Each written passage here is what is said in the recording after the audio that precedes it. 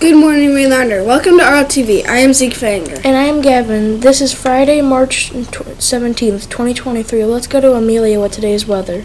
Today's weather calls for a little bit of everything. A high of 36 degrees. Back to you. Today's reading suggestion is read a biography book. Today's expectation reminder is responsibility. How can we be responsible in the hallways?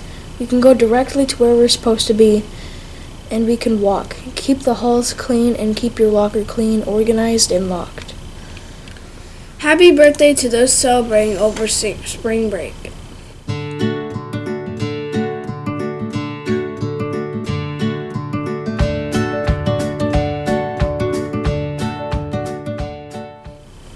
If you are planning to participate in track, don't forget you must have a physical on file before we start.